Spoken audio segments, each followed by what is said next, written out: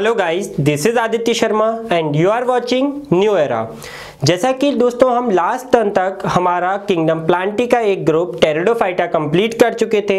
आज हम जो स्टार्ट करेंगे वो नया ग्रुप होगा जिसका नाम है जिम्नोस्पम ठीक है दोस्तों? जिम्नोस्पम को स्टार्ट करने से पहले मैं थोड़ा सा आपको डिटेल से इसके, थोड़ा सा ब्रीफ आपको कर दूँ इसके बारे में। अभी तक हमने जितने भी प्लांट्स पढ़े थे, वो कैसे थे? या तो हर्ब्स के फॉर्म में थे या श्रब्स के फॉर्म में थे। एक्चुअल ट्री फॉर्म में कोई नहीं था। तो एक्चुअल में जो ट्री हम आसपास हमारे देखते हैं, वो बेसिकली या तो एंजियोस्पम होते हैं या जिम्नोस्पम होते हैं। ठीक है दोस्तों? तो आज हम बेसिकली जो स्टार्ट करने जा रहे हैं, वो सिमिलैरिटी शो करता है किसके साथ? जो हमारे आज के एंजियोस्पम जो बेसिकली हम ट्री फॉर्म देखते हैं। ठीक है दोस्तों? तो आपको इससे थोड़ा सा हिंट मिलेगी और समझने में हेल्प मिलेगी क्योंकि आप एक्चुअल फील कर पाएँगे कि एक्चुअल में जो प्लांट्स देख रहे हैं हम बड़े बड़े जाइंट जो पेड़ देख रहे हैं, वो बेसिकली एंजियोस्पम या फिर जिम्नोस्पर्म के होते हैं। ठीक है दोस्तों? स्टार्ट करते हैं बिना देर किए हुए। तो ये जिम्नोस्पर्म जो होता है, इसको हम दो पार्ट में डिवाइड कर देते हैं। जिम्नो का मतलब होता है नेकेड क्या मतलब होता है? नेकेड और स्पम का मतलब होता है सीड ठीक है? अच्छा क्या मतलब हुआ? नेकेड सीड नेकेड सीड का मतलब है कि यहाँ पर ओव्यूल तो बन रहा है, लेकिन ओवरी वॉल नहीं बन रही है। ओवरी वॉल एबसेंट है, ठीक है? इसको नोट कर लेते हैं। नेकेड का क्या मतलब? बेसिकली इसका इंटरप्रिटेशन की बात करें तो क्या है? ओव्यूल तो है but not covered by not covered by ovary wall ovary wall both before and after fertilization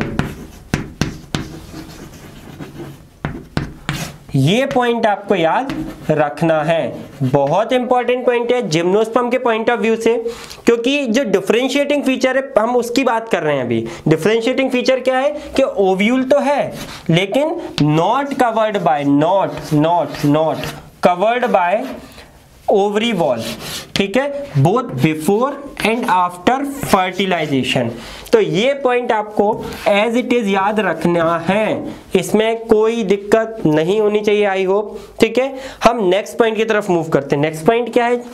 next point ये है कि जो जिम्नोस्पम है, अभी तक हम देखते आए थे कि पहली बार टेरिडोफाइटा ऐसे थे जिनमें प्लांट बॉडी जो थी, वो डिवाइडेड हुई थी रूट में स्टेम में और लीव्स में।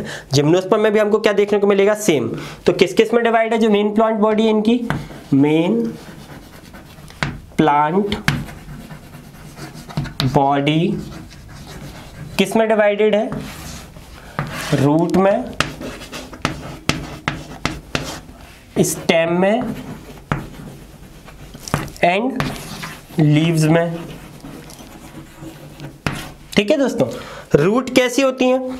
जो यहाँ पे रूट देखी जाती हैं जिम्नोस्पम में, वो किस तरह की होती हैं? तो रूट की हम बात कर लेते हैं। रूट होती हैं यहाँ पे टैप रूट कैसी होती हैं? टैप रूट्स ठीक है दोस्तों? अच्छा स्टेम की बात करें तो स्टेम यहाँ पे दो टाइप की होती है। या तो होती है अनब्रांच या फिर होती है ब्रांच लीव्स की हम बात करेंगे तो लीव्स यहाँ पे दो टाइप की देखने को मिलती हैं, या तो सिंपल होती हैं, या फिर कंपाउंड होती हैं। ठीक है दोस्तों? चलिए तो अब अभी तक हमने क्या देखा कि जो रूट्स की होती हैं, वो किस टाइप की होती हैं स्टेम होती हैं, वो किस टाइप की होती हैं लीव्स होती हैं, वो किस टाइप की होती है? और इनकी जो डिटेल है कि रूट में स्टेम में और लीव्स की जो डिटेल है, वो हम बेसिकली पढ़ते हैं हमारे चैप्टर नंबर फाइव जिसका नाम है मॉर्फोलॉजी ठीक है? लेकिन हम मॉर्फोलॉजी वहाँ जो पढ़ेंगे, वो एंजियोस्पम्स की पढ़ेंगे। किसकी पढ़ेंगे? एंजियोस्पम्स की। तो हमको यहाँ पर थोड़ा सा तो आगे जाना पड़ेगा, क्योंकि जिम्नोस्पम की मॉर्फोलॉजी हम नहीं पढ़ने वाले हैं वहाँ पर। क्योंकि हमारे सिलेबस में नहीं है। लेकिन अगर हम बेसिकली जिम्नोस्पम को थोड़ा बहुत जानना चाहें तो वो यही मौका है कि आप जान सकते हैं। इसके अलावा आपके सिलेबस में नहीं है, ठीक है? बहुत ज़्यादा डिटेल से। लेकिन हम थोड़ा आइडिया तो एटलीस्ट लेके चलेंगे। और जो भी मैं आइडिया लेके चल रहा हूँ, वो बहुत ज़्यादा इंपॉर्टेंट और आपको याद भी रखने ऐसा नहीं कि एक बार सुन के निकाल दिया। आपको याद रखने हैं, ठीक है दोस्तों? चलिए हम बात करते हैं रूट्स की। तो जो यहाँ पे टैप रूट्स लिखी हैं तो टैप रूट्स में मैं जो बात एग्जैक्टली कर करना चाहूँगा कि यहाँ पे आपको दो टाइप के और नाम प्लांट्स के याद रखने पड़ेंगे। एक तो होता है पाइनस एक होता है साइकस आई होप सबने पाइनस और साइकस का नाम सुना होगा। अगर नहीं सुना है तो मैं पाइनस साइकस आपको डिटेल में एग्जांपल्स के मैं आएँगे जब हम एंड कर रहे होंगे इस चैप्टर का, इस पॉइंट का बेसिकली लेकिन उसके पहले मैं हिंट दे देता हूँ आपको। पाइनस साइकस आपने कहाँ देखे होंगे? किसी ने भी हिमालयास वाली कोई मूवीज़ देखी है, जहाँ पे हिमालयास दिख रहे हो या फिर नॉर्थ साइड दिख रहा हो इंडिया का? नहीं देखी होगी जो फाइट मूवी है वॉर मूवी है कई सारी लाइक माँ तुझे सलाम बहुत पुरानी मूवी है, सनी देओल की, उसमें मैक्सिमम टाइम वही सीन चले हैं। तो उनके शेप कैसे होते हैं? अशोक के पेड़ आपने बेसिकली देखे होंगे, इस तरह का शेप होता है उनका। ये पाइनस के पेड़ दिखाए जाते हैं वहाँ पे। ठीक है दोस्तों? तो ये आपको याद रखना है, एक आइडिया दे रहा था कि पेड़ कैसे होते हैं। और बाकी आपने पेड़ जो देखे होंगे साइकस को अगर इमेजिन करना चाहते हैं तो आपने डेट पाम वगैरह के या कोकोनट के पेड़ देखे होंगे। कुछ सिमिलैरिटी उसकी होती है उस तरह से। ठीक है? चलिए हम बात करते हैं आगे। तो हम पाइनस की बात करते हैं। पाइनस बेसिकली क्या करता है? ये माइकोराइजा बनाता है। बेसिकली ये सिम्बायोटिक रिलेशनशिप शो करता है फंजाई के साथ, ठीक है? और क्या फॉर्म करता है? माइकोराइजा पाइनस की बात करिए। पाइनस क्या फॉर्म करता है? माइकोराइजा लेकिन साइकस में एक इंपॉर्टेंट चीज़ याद रखिएगा। साइकस के पास टैप रूट तो है। इसके अलावा ये एक तरह की रूट्स और रखता है, जिनका नाम है कॉरेलॉइड रूट्स अब आप कहेंगे, सर, एक तरह की रूट है रूट का काम है पानी को खींचना न्यूट्रिएंट्स को खींचना, वो तो टैप रूट्स खींच ही लेगी। फिर कॉरिलेट रूट्स किस काम के लिए? लाइक वाइज यहाँ पे माइक्रोराइजा तो सर स्ट्रेंथन प्रोवाइड कर रहा था, इसलिए माइक्रोराइजा की ज़रूरत पड़ रही थी। यहाँ क्या यूज़ आ गया? कॉरिलेट रूट्स में आप याद रखिएगा दोस्तों कॉरिलेट रूट्स बेसिकली जो काम आती हैं, वो आती हैं नाइट्रोजन फिक्सेशन के लिए। कुछ लोगों की बत्ती जली होगी शायद। जो कि जनरली बुझी रहती है नाइट्रोजन फिक्सेशन याद आ रहा है कुछ? बीजीए में हमने पढ़ा था कॉरलेट रूट्स ऑफ़ साइकस याद आया किसी को? नहीं याद आया तो बीजीए एक बार जाके दोबारा रिवाइज करिएगा, आपको वहाँ पे मिलेगा। ठीक है? तो वहाँ पे हमने क्या बात की थी? नाइट्रोजन फिक्सेशन की, जो कि कौन करवाता है? कोरोलाइड रूट्स ऑफ़ साइकस एक एग्जांपल पढ़ा था जब हमने सिम्बायोटिक रिलेशनशिप पढ़ रहे थे। ठीक है दोस्तों? चलिए तो यहाँ तक तो हमने रूट्स की बात कर ली। अब रूट्स में अगर आप कहें, सर, और डिटेल से आपने नहीं बताया है। रूट्स तो टाइप भी होते हैं तो मैंने जैसे कि बोला मॉफोलॉजी पढ़ेंगे, पर एक मैं मेयर आइडिया आपको दे देता हूँ। रूट्स बेसिकली तीन टाइप की होती हैं। एक टैप रूट होती है, एक एडवेंटिशियस रूट होती है, एक फाइब्रस रूट होती है। ठीक है दोस्तों? टैप रूट जो होती है, वो डायरेक्ट इलोंगेशन होता है प्राइमरी पार्ट का, जो कि हमने पढ़ा है। बाकी एडवेंटिशियस और फाइब्रस की डिटेल्स में हम नहीं जाएँगे, क्योंकि उसका कोई सेंस यहाँ पे बनता नहीं है। ठीक है दोस्तों? चलिए डिस्कस करते हैं आगे रूट्स कंप्लीट होने के बाद। हम बात करेंगे स्टेम की। स्टेम कितने टाइप की है? या तो ब्रांच है या फिर अनब्रांच है। ब्रांच अनब्रांच स्टेम की अगर हम बात करें सॉरी तो अनब्रांच स्टेम में जो आपको एग्जांपल याद रखना है, वो याद रखना है साइकस ठीक है? और जो ब्रांच है, यहाँ पे आपको दो एग्ज़ाम्पल याद रखने हैं। आपकी एनसीईआरटी के अकॉर्डिंग बेसिकली जिम्नोस्पर में तीन एग्ज़ाम्पल दिए कौन कौन से एग्ज़ाम्पल दिए? पाइनस साइकस और सिड्रस ठीक है? ये तीन एग्ज़ाम्पल तो आपको एज इट इज़ याद रखने है बाकी अगर एक्स्ट्रा मैं बताऊँगा तो आप रख लीजिएगा। ठीक है? तो क्या क्या एग्ज़ाम्पल है? पाइनस और सिड्रस ये आपको याद रखने हैं एज इट इज़ यहाँ पे आपको जो मेजर काम है, वो एग्ज़ाम्पल याद रखना और ये बहुत ज़्यादा इंपॉर्टेंट है। बहुत हाई ईल्ड एग्जाम्पल्स हैं। इनकी वैल्यू बहुत ज़्यादा है। तो आपको एज इट इज़ याद रखने हैं। ठीक है दोस्तों? चलिए, अब हम बात करेंगे लीव्स की। लीव्स में भी कुछ खास आपको याद रखना नहीं है। लीव्स में बस ये याद रखना है कि साइकस में क्या क्या होता है, कई बार पिन्नेटली लीव देखने को मिलती है जो कई सालों तक रहती हैं, ठीक है? बस एक है, लेकिन बहुत ज़्यादा एनसीईआरटी ने भी इस पर स्ट्रेस नहीं दिया, आपको भी नहीं देना है। बस ये याद रखना है कि सिंपल भी मिलती है कंपाउंड भी मिलती है पिन्नेट भी मिलती है, ठीक है? पिन्नेट पामेट आप समझेंगे कंपाउंड लीव्स का टाइप होता है जब मॉर्फोलॉजी पढ़ेंगे, ठीक है दोस्तों? तो ये हमारा बेसिक जिम्नोस्पम जिसको हमने ब्रीफ किया ये तो हमारा ये, इसकी बात तो हमने कर ली। अब जिम्नोस्पम में कई सारे और पॉइंट्स हैं जो आपको इंट्रोडक्टरी पॉइंट ऑफ़ व्यू से याद रखने हैं। वो क्या पॉइंट्स हैं? उनकी भी बात कर लेते हैं। जिम्नोस्पर्म को हम स्पर्मेटोफाइटा बोलते हैं। क्या बोलते हैं? स्पर्मेटोफाइटा क्यों बोलते हैं? क्योंकि यहाँ पर सीड फॉर्म होता है। क्या फॉर्म होता है? सीड तो जिम्नोस्पम को अकेले को स्पर्मेटोफाइटा नहीं बोलते हैं। जिम्नोस्पम और एंजियोस्पम दोनों को ही हम क्या बोलते हैं? स्पर्मेटोफाइटा दूसरी चीज़ और क्या याद आपको रखनी है?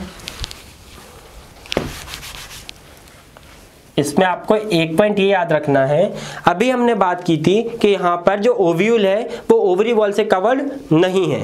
Ovary sorry ovule ovary wall से कवर्ड नहीं है। तो इसकी वजह से क्या होता है? जो हमने बात की थी ovary ovule sorry ovary wall से कवर्ड नहीं है। तो इसकी वजह से यहाँ पर क्या होगा कि ये कभी भी आपका किसमें कन्वर्ट नहीं होगा? फ्रूट में। सॉरी ओवरी जो है आपकी किसमें नहीं कन्वर्ट होगी? फ्रूट में। तो यहाँ पे आपको सीड फॉर्मेशन तो देखने को मिलेगा, लेकिन कभी भी फ्रूट फॉर्मेशन नहीं मिलेगा। तो इसका क्या रिज़ल्ट होगा? No fruit formation no fruit formation. ये पॉइंट आपको याद रखना है। ठीक है दोस्तों? बहुत हाई ईल्ड पॉइंट है। एज इट इज़ आपको याद रखना है। अच्छा और क्या पॉइंट आप इसमें याद रख सकते हैं? जिम्नोस्पम वेस्कुलर प्लांट्स होते हैं। जिम्नोस्पम क्या होते हैं? वेस्कुलर प्लांट्स होते हैं। वेस्कुलर प्लांट का क्या मतलब है? वेस्कुलर तो सर टेरिडोफाइट्स भी थे। बिल्कुल टेरिडोफाइट्स वेस्कुलर प्लांट थे। ठीक है? और वही चीज़ यहाँ पर भी देखने को मिलेगी। क्या? ये क्या है? वेस्कुलर प्लांट्स और वही सेम चीज़ इनमें भी देखने को मिलेगी कि इनका जो जाइलम होगा जाइलम में क्या एबसेंट होगा? वेसल्स और फ्लोयम में क्या एबसेंट होगा? कंपेनियन सेल्स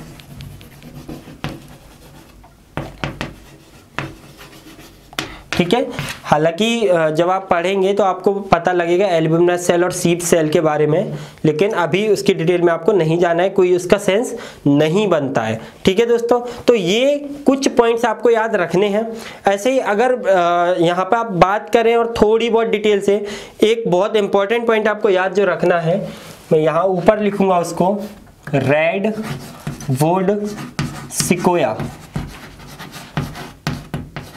ये वन ऑफ़ द हाईएस्ट या क्या लार्जेस्ट ट्री स्पीशीज है और ये जो आपका रेडवुड सिकोया मैंने लिखा ये ओल्डेस्ट ट्रीज में भी आते हैं, ठीक है? लेंथ तो है ही ज़्यादा 100 मीटर क्रॉस कर जाते हैं और ये आपके ओल्डेस्ट ट्री में भी आते हैं। तो ये पॉइंट आपको याद रखने हैं, ठीक है दोस्तों? चलिए तो इसके अलावा और क्या चीज़ हम देख सकते हैं? वो है लाइफ साइकिल किसकी? जिम्नोस्पम की। उसके बारे में हम बात करते हैं। बिना देर किए हुए।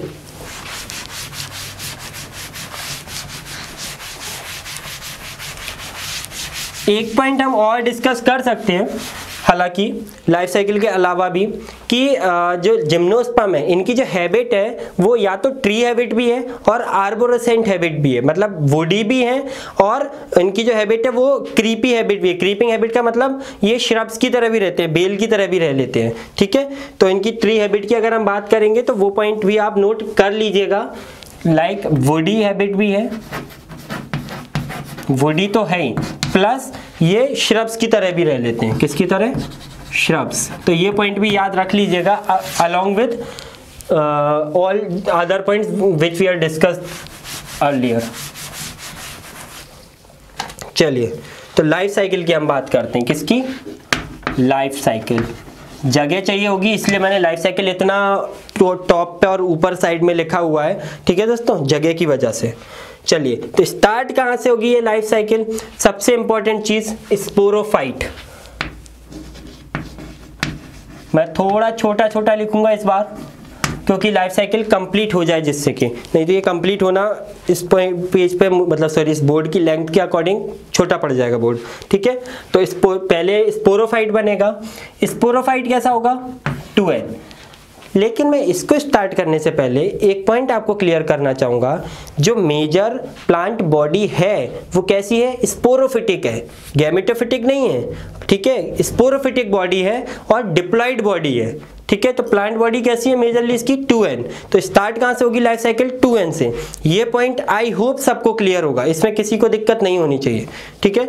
स्पोरोफाइट यहाँ से अपन बात करते हैं तो क्या बना? माइक्रोस्पोरोफिल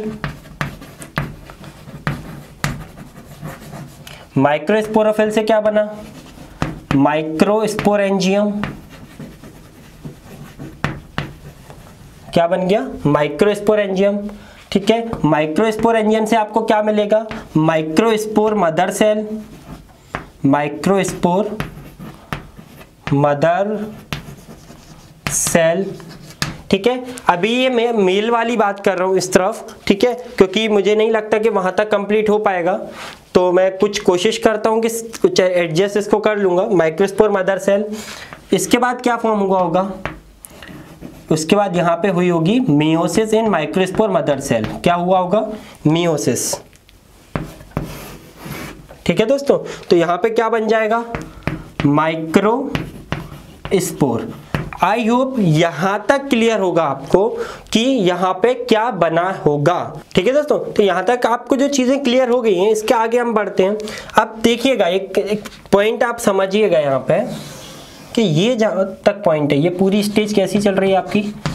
डिप्लॉइड ठीक है दोस्तों? डिप्लॉइड माइक्रोस्पोर से आपकी हैप्लॉइड स्टेज चालू हो गई है। माइक्रोस्पोर के बाद जिसका नंबर आएगा वो है मेल गेमिटोफाइट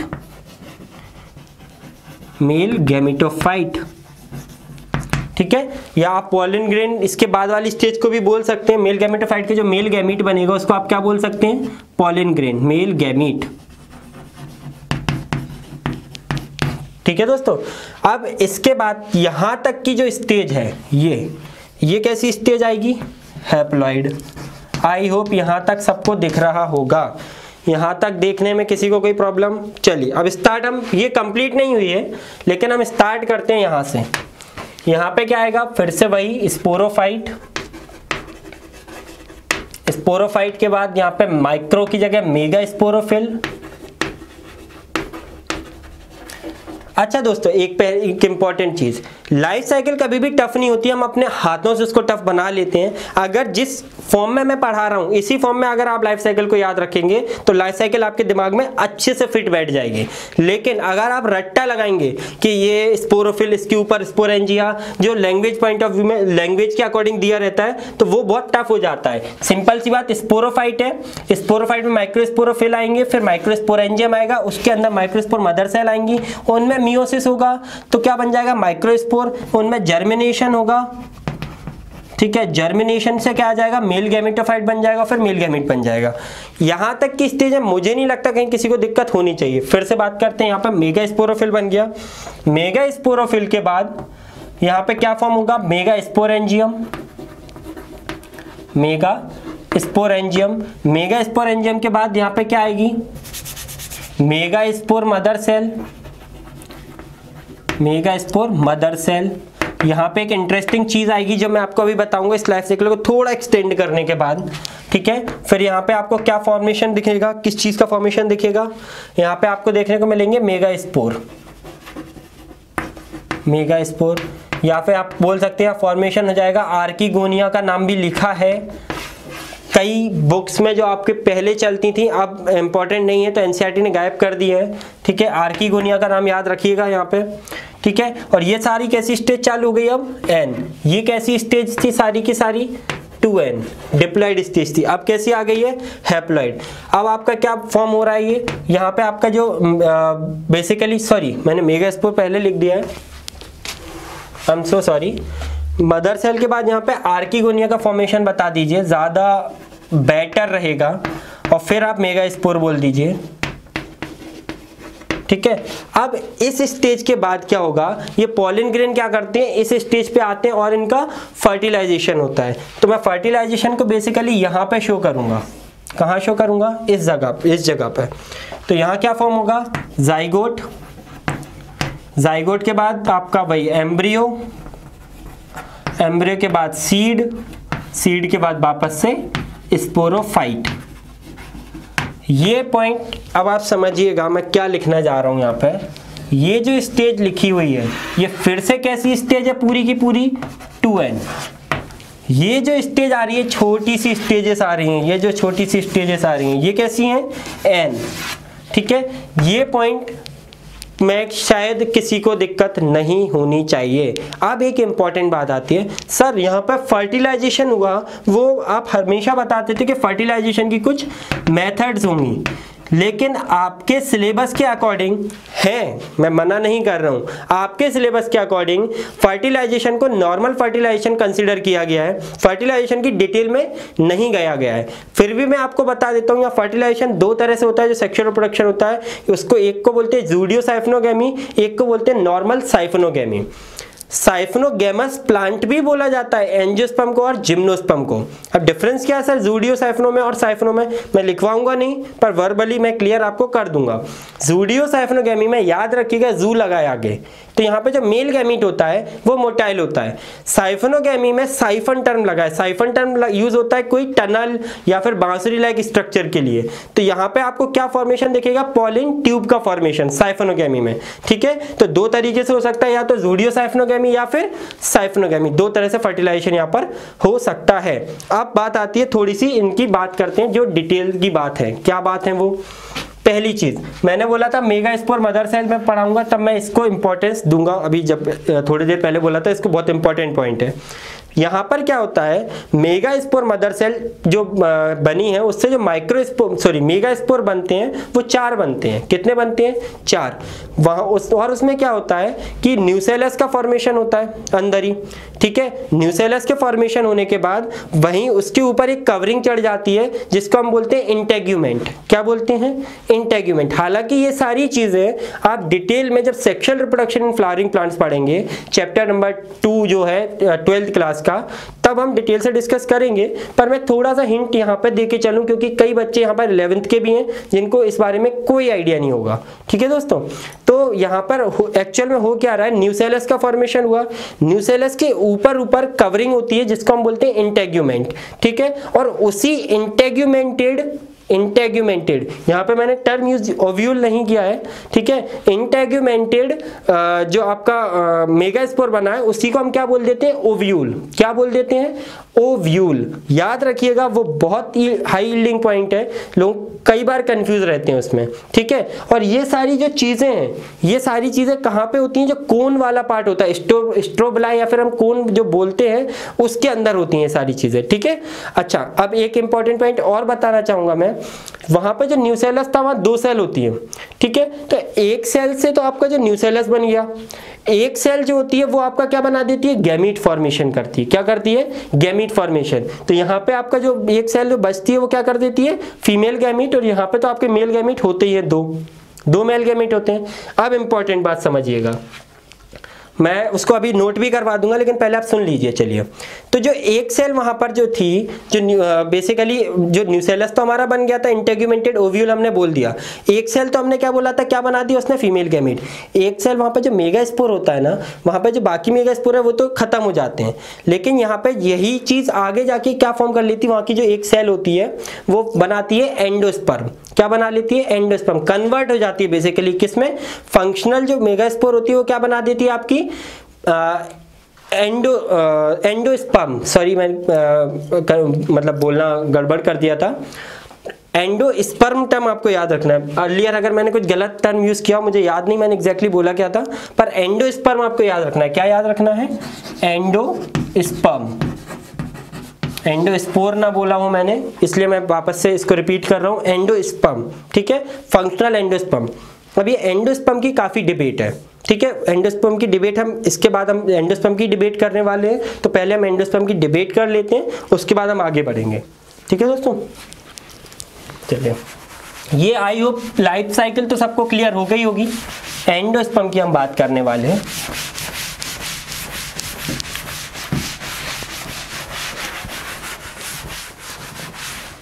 चलिए। एंडोस्पम की क्या खास डिबेट है? बेसिकली जो एंडोस्पम है, ये जो हमारा एंजियोस्पम होता है, उसमें होता है थ्री एन लेकिन यहाँ पे कैसा होता है? सिर्फ़ एन क्यों? यहाँ पे होता है एन क्यों? क्योंकि ये डायरेक्ट किससे बनता है? डायरेक्ट बनता है मेगा स्पोर से. एंड बिफोर फर्टिलाइजेशन अभी हम एंजियोस्पर्म की थोड़ी सी बात करेंगे। जिम्नोस्पर्म को कंप्लीट करने के बाद उसमें हम बात करेंगे कि वहाँ पर एंजियोस्पर्म कैसे बनता है आफ्टर फर्टिलाइजेशन बनता है और थ्री एन बनता है। उसकी बात हम अभी करेंगे। ठीक है दोस्तों? अच्छा एक जो हमने बात की थी तो यहाँ पर जो मेल गैमिट और फीमेल गैमिट थे ठीक है? मेल गैमिट और फीमेल गैमिट एन एन जो थे, ये फर्टिलाइज होते हैं और यहाँ पे कोई डबल फर्टिलाइजेशन देखने को नहीं मिलता। क्यों? यहाँ पे जो दो मेल गैमिट बनते हैं, वो एक डिजनरेट कर जाता है। वहाँ पे एक ही फीमेल गैमिट था, आपस में फ्यूजन होकर नॉर्मल जाइगोट का फॉर्मेशन करते हैं। ये चीज़ आपको आई होप क्लियर हो गई होगी। ये पॉइंट ज़रूर याद रखिएगा एंडोस्पम कैसा होता है? एन होता है। ठीक है दोस्तों? यहाँ शायद तक किसी को कोई दिक्कत नहीं होगी। ये पॉइंट क्लियर है आपको? इसके अलावा आपको एक दो पॉइंट्स और याद रखने हैं यहाँ पर। वो पॉइंट्स क्या है? कि यहाँ पर जो इनका गेमेटोफाइट होता है, वो बहुत शॉर्ट लिव्ड होता है और डिपेंडेंट होता है किसके ऊपर? स्पोरोफाइट के ऊपर। तो हम जो बात कर रहे थे कि ब्रायोफाइटा और टेरिडोफाइटा में जो हमने पढ़ा था कि मेल गैमेट और फीमेल गैमेट का जो एग्जिस्टेंस है वो इंडिपेंडेंट होता है। लेकिन जब आप जिम्नोस्पम और एंजियोस्पम्स की बात करते हैं ना तो उसमें ये जो एग्जिस्टेंस है इनका इंडिपेंडेंट नहीं होता है। याद कीजिएगा मैंने सिलेजनेला की एक बार बात की थी कि वहाँ पर फीमेल गैमेटोफाइट के अंदर कुछ देर तक वो डेवलपमेंट वहाँ पर होता है फीमेल गैमेट के अंदर। और इसी को हमने बात की थी कि ये इवोल्यूशन है किसका? सीड हिस्ट्री का। सी ये आपको पॉइंट मैंने लास्ट लास्ट में बताया बताया था। थोड़ा सा रिमाइंड करने की कोशिश कीजिएगा। और बहुत इंपॉर्टेंट पॉइंट था हाई इल्डिंग पॉइंट था वो। ठीक है दोस्तों? तो ये कुछ पॉइंट्स आपको एज इट इज़ याद रखने हैं यहाँ पर। ठीक है? अच्छा आ, इसके बाद जो हम बात करने जा रहे हैं वो बात है so सॉरी डायरेक्ट हम एग्जाम्पल्स की बात भी कर सकते हैं यहाँ पे। लाइफ साइकिल हमारी यहाँ पे कंप्लीट हो गई है। लाइफ साइकिल के बाद जो इंपॉर्टेंट पॉइंट है वो है कि इनके एग्जाम्पल्स एग्जाम्पल्स की हम बात करते हैं ठीक? तो बेसिकली हम दो क्लासेस में डिवाइड करते हैं। एक होते हैं साइकेडोफाइटा हालाँकि इसकी ज़रूरत नहीं थी आपके एनसीईआरटी ने नहीं दिया है लेकिन मैं फिर भी एक मेजर मेजर क्लासेस में डिवाइड करके इसलिए बता रहा हूँ कई लोग कितना भी उनको बोल लो उनको आ, कुछ समझ नहीं आता कि क्या करना है। तो उनको बोल चुके एनसीईआरटी करनी है, फिर भी वो अदर क्वेश्चंस करेंगे। पिछले पंद्रह साल के पुराने सवाल भी लगाएँगे। तो उन महापुरुषों के लिए मैं थोड़ी सी हिंट दिए दे रहा हूँ, नहीं तो बाद में परेशानी होते रहेंगे। माफ़ कीजिएगा, फिर से हमारा जो कैमरा हमेशा की तरह बंद होता है, फिर से बंद हो गया था। तो मुझे नहीं पता आपका कहाँ से छूटा है, पर मैं रिपीट किए देता हूँ। जिम्नोस्पम को हमने दो में डिवाइड किया है, दो क्लासेस में बेसिकली ठीक है? तो ये क्लासेस कौन कौन सी है? साइकेडोफाइटा और कॉनिफेरोफाइटा और साइकेडोफाइटा में भी साइकेडोफिलिकिल्स तो आपको याद आ, मतलब जो इसका पहले तीन क्लास मतलब तीन ऑर्डर्स में हमने डिवाइड किया साइकेडोफिलिकेल्स ठीक है? और साइकेडोफिलिकेल्स में आपको ये याद रखना है कि इसके जितने भी प्लांट्स हैं वो एक्सटिंक्ट हो चुके हैं फॉसिल फॉसिल प्लांट्स हैं जिनको हमें याद नहीं रखना है। बस इतना सा आपको याद रखना है साइकेडोफिलिकेल्स में। ठीक है दोस्तों? अब आते हैं इसमें सेकेंड बेनिटेटिटेल्स और लास्ट इसमें आते हैं साइकेडो साइकेडेल्स साइकेडेल्स डेल्स आई एम सो सॉरी ठीक है? बेनेटेल्स में आपको एक एग्जांपल याद रखना है। विलियम सोनिया क्या याद रखना है? Williamsonia Williamsonia actual में है ये भी फॉसिल प्लांट लिविंग फॉसिल भी नहीं है फॉसिल है प्रॉपर फॉसिल प्लांट है। याद क्यों रखना है? क्योंकि हमारे एक इंडियन साइंटिस्ट थे ठीक है? फादर ऑफ़ पेलेंटोलॉजी भी बोला जाता है उनको प्रोफेसर बीरबल साहनी, ठीक है? उन्होंने इस प्लांट के फॉसिल्स को निकाला था, खोजा था। इसलिए हमको नाम याद रखना है तो नाम इनके साथ किसका याद रखना हमको? प्रोफेसर बीरबल साहनी। ये फादर ऑफ़ पेलेंटोलॉजिस्ट पेलेंटोलॉजी भी हैं। ठीक है, बहुत बड़े पेलेंटोलॉजिस्ट हैं ये। साइकेडेल्स साइकेडेल्स आपको याद रखना है थोड़ा सा साइकेडेल्स इसमें जो साइकेडोफाइटा इसमें इंपॉर्टेंट सिर्फ़ साइकेडेल्स हैं। साइकेडेल्स में आपको याद रखने हैं दो एग्ज़ाम्पल अगर याद रख पाते हैं। एक तो जामिया।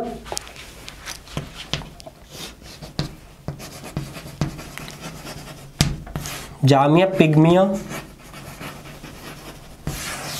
ठीक है? और दूसरा आपको याद रखना है साइकस। साइकस को हम एक और नाम से बुलाते हैं सागोपाम ठीक है? साइकस में आपको एक और पॉइंट यहाँ पे याद रखना है कि जिसको ओव्यूल्स का साइज़ होता है बेसिकली वो होता है सेवन सेंटीमीटर ये सबसे बड़े होते हैं। ठीक है? ओव्यूल के साइज़ के अकॉर्डिंग जब देखा जाता है तो ये सबसे बड़े होते हैं। एक और इंपॉर्टेंट चीज़ साइकस में जो याद रखनी है आपको कि इनमें फीमेल कौन एबसेंट होती है।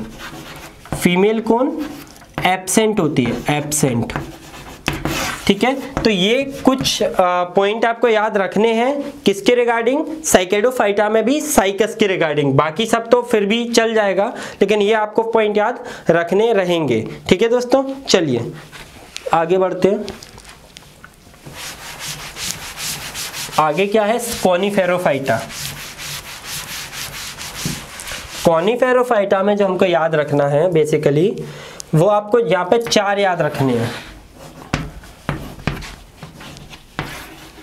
ठीक है दोस्तों, पहला आता है जिंजको एल्स। जिंजको एल्स। हम सो सॉरी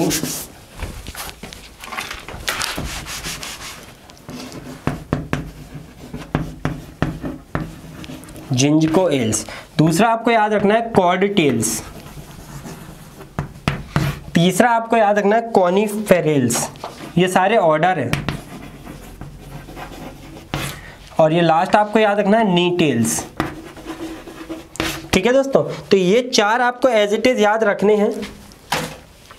अच्छा जिंजिको एल्स में जो एग्जांपल आपको याद रखना है, वो है जिंजिको बाइलोबा। जिंजिको बाइलोबा में एक खास बात याद रखिएगा, ये बहुत एडवांस्ड होता है। जिंजिको एल्स ऐसा नहीं है कि ये इसमें एडवांसमेंट की कोई चीज़ नहीं है, लेकिन इसमें दिक्कत क्या है कि इनमें जो मेल गेमेटोफाइट है मेल गैमीट है, वो होते हैं मोटाइल इसलिए हम इसको क्या क्या मानते हैं? काफ़ी प्रीवियस मानते हैं, काफ़ी लोअर ऑर्गेनिज्म मतलब लोअर प्लांट मानते हैं लोअर जिम्नोस्पम मानते हैं बी प्रसाइज अगर मैं बोलूँ तो। ठीक है दोस्तों? तो जिंजिको बायोलोबा याद रखना है, ठीक है? कॉर्ड डिटेल्स की हम बात करते हैं। कॉर्ड डिटेल्स में आपको याद रखने जैसा कोई भी जो प्लांट है जिम्नोस्पम का वो याद नहीं रखना है। कॉर्ड डिटेल्स आप भूल जाइए एक्सटिंक्ट हो चुका है। कोई सेंस नहीं है इसको याद रखने का। कॉनीफेरेल्स ये लार्जेस्ट जिम्नोस्पम होते हैं। लार्जेस्ट जिम्नो मैं लिखने के बाद मिटा दूँगा क्योंकि इसमें एग्जाम्पल्स काफ़ी सारे आपको देखने हैं। इसी में आ, आपके आते हैं पाइनस पाइंस पाइनस ठीक है दोस्तों, इसी में आपका आता है एबीज, बालसम। इसी में आपके आते हैं अराउकेरिया। इसी में आपका आता है सिड्रस। ठीक है दोस्तों, पाइनस, एबीज, अराउकेरिया, सिड्रस। ठीक है इसी में आपके आते हैं जीवनी पेरस इसी में आपके आते हैं सिकोया सिकोया एंड मेटासिकोया। ठीक है दोस्तों? तो ये कुछ एग्जांपल्स आपको याद रखने हैं किसमें? कॉनीफेरल्स में। कॉनीफेरल्स में पहला जो पाइनस है, इस पे हमको मिलता है टर्पेंटाइन ऑयल इसकी एक स्पीशीज होती है पाइनस की। उससे हमको क्या मिलता है? टर्पेंटाइन ऑयल अच्छा तो एबीज की हम बात करते हैं। एबीज से हमको मिलता है बेसिकली कनाडा बालसम क्या मिलता है?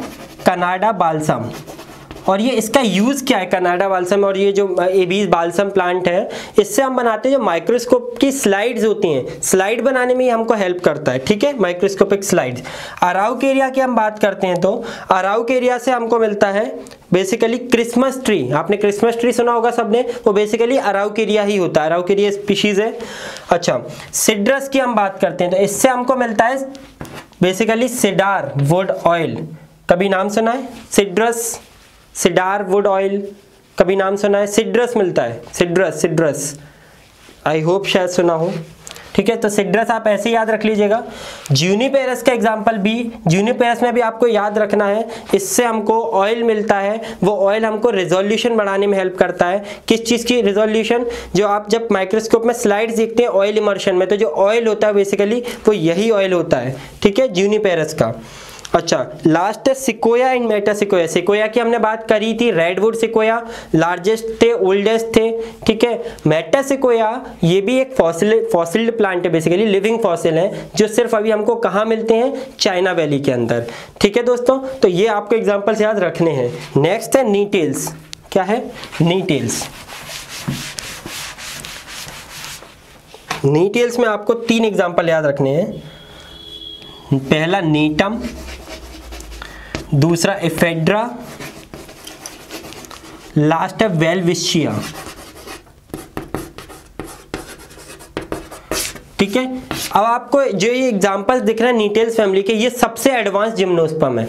इनमें आपको वो फीचर्स मिल जाएँगे। लाइक हमने जब बात की थी जाइलम में वेसल्स नहीं होती तो इनमें कई सारों में वेसल्स मिल जाएँगी आपको, ठीक है? और भी कई सारी चीज़ें हैं जो बाकी जिम्नोस्पम में नहीं होती हैं, इनमें एडवांस्ड होते हैं ये। ये बेसिकली जिम्नोस्पम और एंजियोस्पम की लिंक है, ठीक है? तो आपको ये पॉइंट्स एग्जैक्ट याद रखने हैं। एक लास्ट चीज़ जो मैं बताना चाहूँगा, वो है इफेड्रा इफेड्रा क्या होता है? इससे मेडिसिनल मतलब मेडिसिनल चीज़ हमको मिलती है, इफेड्रिन, ठीक है? जो बेसिकली हमको, कई सारे एथलीट्स इसको मिसयूज़ भी करते हैं, ठीक है? और ये काफ़ी हेल्पफुल है। कई सारी जो इफेड्रिन जो इनका केमिकल है, ये काफ़ी जगह, काफ़ी सारी मेडिसिन में यूज़ होता है। ये राजस्थान में मिलता है बेसिकली हमको, राजस्थान से मिलता है ये पेड़ हमको। तो ये पॉइंट्स आपको याद रखने हैं। थोड़ी सी बात मैं एनजियोस्पम की भी करूँगा, क्योंकि एनजियोस्पम की बात किए बिना ये पूरा नहीं हो सकता, क्योंकि किंगडम प्लांटी में एंजियोस्पम भी आते हैं। बहुत डिटेल से नहीं जाएँगे, क्योंकि एंजियोस्पम की डिटेल्स ट्वेल्थ क्लास में बहुत ज़्यादा है। इलेवेंथ में भी जब आप मॉर्फोलॉजी पढ़ेंगे तो एंजियोस्पम ही एंजियोस्पम पढ़ना है आपको। लेकिन हम फिर भी थोड़ी सी बात करेंगे। एंजियोस्पम को कंपेयर करके थोड़ा सा देखेंगे। एंजियोस्पम हमने स्पर्मेटोफाइटा बोला था साइफोनोगेमी बोली थी, ये सब के सब एंजियोस्पम में होता है। यहाँ की जो इंपॉर्टेंट बात है वो ये। आपको याद रखना है। Seven celled eight nucleate stage काफ़ी लोगों ने ये देखा होगा। कोई डाउट नहीं है इसमें। ठीक है दोस्तों? ठीक है? मैं इस तरह से बना रहा हूँ। कोई ऊपर नीचे उल्टा बना सकता है, कोई दिक्कत नहीं है। जिसका जैसा माने बस ये याद रखना है कि यहाँ पे एग सेल है। और एंटीपोडल सेल है। ठीक है?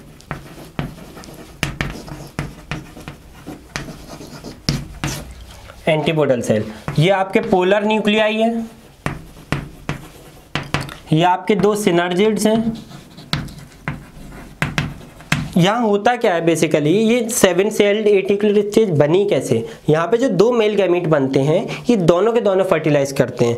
एक तो आपका फर्टिलाइज करता है इस एग सेल के साथ, ठीक है दोस्तों? और जो दूसरा होता है वो इसके साथ फर्टिलाइज करता है। तो बेसिकली यहाँ पे क्या हो जाता है? आपका डबल फर्टिलाइजेशन और इस पर्टिकुलर जगह पे क्या होता है? ट्रिपल फ्यूजन तो यहाँ पे जो सेंट्रल सेल होती है, ये तो कन्वर्ट हो जाती है प्राइमरी एंडोस्पम न्यूक्लियस में, जो कि एंडोस्पम फॉर्म भी आगे जाके जो थ्री एन स्टेज बनी है, यही आपकी क्या बन, बोलते हैं एंडोस्पम बनता है, ये थ्री एन ही। आगे जाके क्या फॉर्म कर लेगा? एंडोस्पम ठीक है दोस्तों? और ये आपके जो एक्सेल और इससे ये बनाए जाइगोट बनाएँगे, वो क्या बन जाएगा आपका? टू एन होता है जाइगोट ठीक है? डिप्लॉयड होता है। और ये सिनार्जिट्स वगैरह ये आपके क्या कर जाएँगे? डीजेनरेट तो आपको याद कैसे रखना है? सेवन सेल कैसे हैं? One two three four five six और ये पूरी की पूरी एक सेवन होती है, जिसमें दो न्यूक्लियाई होते हैं। तो छह सेल छह सेल छह न्यूक्लियाई छह न्यूक्लियाई सेवन सेल और दो न्यूक्लियाई तो seven cell eight nuclear stage ये होती है। आपको इसी फॉर्म में याद रखना है और आगे आपको ये भी याद रख सकते हैं ओव्यूल आगे जाके क्या बन जाता है? सीड बन जाता है। मतलब जब फर्टिलाइजेशन जो डेवलपमेंट फ़ेज़ होता है उसमें ओवरी आपकी फ्रूट बनाती है। ठीक है दोस्तों? ये जो प्राइमरी सेंट्रल सेल है, ये प्राइमरी एंडोस्पर्म न्यूक्लियस बना लेगा। ये कुछ इंपॉर्टेंट इंपॉर्टेंट चीज़ें हैं जो आपको याद रखनी है। लास्ट चीज़ जो किंगडम प्लांटी में हमको पढ़ना था, वो था ऑल्टरनेशन ऑफ़ जनरेशन के बारे में हमने कोई बात नहीं की थी। उसकी बात हम थोड़ी सी करेंगे, क्योंकि मैं ऑल्टरनेशन ऑफ़ जनरेशन का नाम काफ़ी पहले से ले रहा हूँ, लेकिन मुझे ऐसा लगता है कि आप सबको ये चीज़ क्लियर हो गई होगी। फिर भी मैं रिपीट किए देता हूँ, क्योंकि बहुत बड़ी चीज़ नहीं है। ऑल्टरनेशन ऑफ़ जनरेशन में तीन चीज़ें होती हैं। तीन तरह की लाइफ साइकिल होती है। या तो होती है हेप्लॉन्टिक या होती है डिप्लॉन्टिक और या होती है हैप्लो डिप्लॉन्टिक हैप्लो डिप्लॉन्टिक ठीक है दोस्तों? हैप्लॉन्टिक मतलब जिनकी पूरी की पूरी बॉडी में कभी भी डिप्लॉयड स्टेज सिर्फ़ एक बार आती है, जो कि जाइगोट फॉर्म होता है जाइगोट बनते ही क्या हो जाए? डायरेक्ट मियोसिस तो वो कैसी स्टेज होगी? हैप्लॉन्टिक ये चीज़ क्लियर होगी शायद सबको? मैंने दोबारा रिपीट किया देता हूँ, पूरी प्लांट बॉडी कैसी होती है? हेप्लॉइड होती है। इनमें डिप्लॉइड स्टेज सिर्फ़ एक बार आती है और बनने के साथ ही जो जाइगोट फॉर्म होता है, उसके तुरंत बाद ही उसमें मियोसिस हो जाता है और वापस से हेप्लॉइड साइकिल चालू हो जाती है। तो ये कैसी साइकिल होती है? हेप्लॉन्टिक डिप्लॉन्टिक में पूरी प्लांट साइकिल कैसी होती है? डिप्लॉन्टिक होती है। यहाँ पे सिर्फ़ जो गैमीट बनते हैं। और यहाँ पे मैं लिख देता हूँ जाइकोट यहाँ पे सिर्फ़ एक बार ये टू एन स्टेज आई और यहाँ पे जो एक बार ही क्या आएगी? हेप्लॉइड स्टेज जिसको हम क्या बोल रहे हैं? गैमिट स्टेज तो ये चीज़ क्लियर हो गई होगी शायद सबको। लेकिन यहाँ पे बात होती है डोमिनेंसी की। यहाँ पर हेप्लॉइड स्टेज भी आएगी और डिप्लॉइड स्टेज भी आएगी। तो यहाँ जो लड़ाई है वो बेसिकली वो है दो लोगों के बीच में। ब्रायोफाइट और यहाँ पे है टेरिडोफाइट इसकी एग्जांपल्स आप ऑटोमेटिक बता सकते हैं। थेलोफाइटा से जब हम बात करते हैं थेलोफाइटा तक की, तब हम बेसिकली इनकी बात करते हैं। ठीक है? थेलोफाइटा भी नहीं, उससे पहले ही चली जाइए अब तो प्रोटिस्टा में घुस जाइए। ठीक है? तब की बात हम कर रहे हैं इसमें हेप्लॉन्टिक में। ब्रायोफाइट और टेरिडोफाइट यहाँ पे हमने क्या बात की थी? गैमेटोफाइट ज़्यादा डोमिनेटिंग था। तो मतलब यहाँ जो कंडीशन थी, वो क्या थी? हैप्लोडिप्लॉन्टिक और यहाँ पर डिप्लो हेप्लॉन्टिक बोला था हमने, आपको याद होगा शायद। तो ये चीज़ यहाँ पर याद रखिएगा बेरायोफाइट और टेरिडोफाइट याद रखिएगा हेप्लो डिप्लॉन्टिक की कंडीशन में आ रहे हैं। यहाँ पर आपको याद रखना है जिम्नोस्पम एनजियोस्पम एक स्पेशल एग्ज़ाम्पल फ्यूकस यहाँ पर भी स्पेशल एग्ज़ाम्पल के नाम पे तीन याद आपको रखने थे। एक्टोकार्पस का मैंने नाम लिया था। रखना चाहे तो पॉलीसाइफनिया कैल्प्स का, इनका नाम भी आप याद रख सकते हैं। ठीक है दोस्तों? अच्छा यहाँ के एग्जाम्पल्स मुझे नहीं लगता ज़रूरत है प्रोटिस्टा वाले, जितने भी पहले सिंगल सेल्ड हैं, वो सारे सारे यहाँ आ ही जाएँगे प्लॉन्टिक में। ठीक है दोस्तों? ये ऑल्टरनेशन ऑफ़ जनरेशन था। इसके अलावा किंगडम प्लांटी में और बहुत ज़्यादा चीज़ें इंपॉर्टेंट नहीं है। हालाँकि अगर आप बैक्टीरिया के यूजेस के फॉर्म में अगर आप चीज़ें लेना चाहें तो बहुत वाइड हो जाएँगी चीज़ें। लाइक जो माइक्रोब्स चैप्टर है, वो उसमें हम डील करेंगे ही। फिर भी अगर किसी को भी, किसी भी तरह का डाउट होता है तो आप खुल के पूछ लीजिएगा। मैं कोशिश करूँगा कि फंजाई के बाद से किंगडम प्लांटी वाला जो पार्ट है आपका, इसका मैं रिविज़न एक बार करा दूँ, पंद्रह से बीस मिनट में। मैं पूरा कोशिश करूँगा उस चीज़ का। और नेक्स्ट चैप्टर जो हम स्टार्ट करेंगे, जो कई लोगों की क्वेरी होती है चैप्टर कंप्लीट होने के बाद वो होगा हमारा एनिमल डाइवर्सिटी ठीक है? So that's all for today thank you guys